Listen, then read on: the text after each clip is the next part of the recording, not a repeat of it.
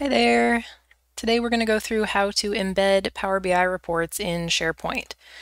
And this works pretty well for KPIs in particular because you can embed these on, say, your intranet homepage or on your team site um, and give people a idea of how you are doing as a team or as an organization. And you have full um, full normal interactivity with um, with the web parts in the SharePoint embed, so you can drill up, drill down, drill through, um, cross filter if you have multiple visuals. You get the tool tips. It's actually really cool. So um, what we're going to do is we're going to use a visual that we made last week. This is this goal to actual, and I'll show you how to set it up for embedding. So I'm going to put a link to the video that we um, where we made this particular visual if you um, if you haven't seen that one in the video description. But um, basically, all you do for an embed is I'm going to put this on a fresh report page and keep in mind when you're embedding things that they'll often get dynamically resized to be quite a bit smaller than, um, than you had intended. So what I like to do is to set the page size to this about the same size that I think it's going to be when it is embedded. So in this case, it was about maybe this size. And you can see that when I resize these, that some things start overlapping and looking a little weird. So we're gonna um, we're gonna fix this up a little bit before we embed it. So these bars in particular, I don't like how thick they've gotten. So we're going to go into the visual settings and go to markers and tone that down a little bit. And if I'm embedding, sometimes when the font size gets a little small, um, you might want to increase your, your legend font size a little bit. So let's do that. Maybe the, do the x-axis up to 10.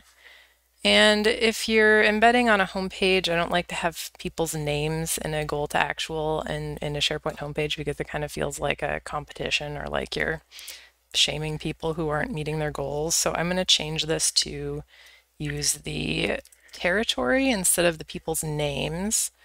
So I have my sales territory dimension table here, and I'm just going to drop that on top of salesperson. Um, you could take salesperson out if you wanted to. See how it's it's expanded? If you go back up, it'll. And then maybe we should take out the titles on the axis because it'll make it a little bit more compact. So I'm just going to come here to the X and Y and turn the title off. Okay, and now we need to resize our canvas. So I'm just going to click off of that visual to get the canvas size tab here and go to canvas settings and change this to custom. And then this looks like about, I would say 400 by 600 would be a good size. You kind of have to guess on this and adjust it. Looks pretty good, maybe like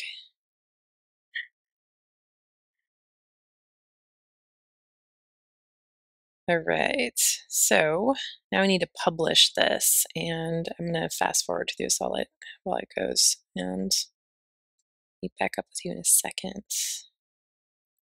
Okay, so I am um, I'm on the report page that I just published and what I need to do is grab the URL up here for that particular tab and then go over to my SharePoint page and click edit and then hover over where I want this. So there's all kinds of videos out there on how to do SharePoint page layouts. Um, the sections and web parts and whatnot can be a little bit confusing. So if you're not sure how to get something to fit in the right size space, um, just check YouTube for that. And I'm going to search for in this, if you missed that, I hovered over this little web part insert menu here. These will pop up anywhere you can add web parts. So you see there just kind of appearing. So I'm going to search for the word Power BI in here, and there's an actual Power BI web part, and use that. And then click on Add Report, and we're going to paste in the link to the report we just made. And it should automatically set the page name if you've pasted in a link that has that um, ID in it. I'm going to leave display as it is, and I'm going to turn off this show navigation pane and the show action bar so that it's more of a clean embed and then we're going to republish when we're done.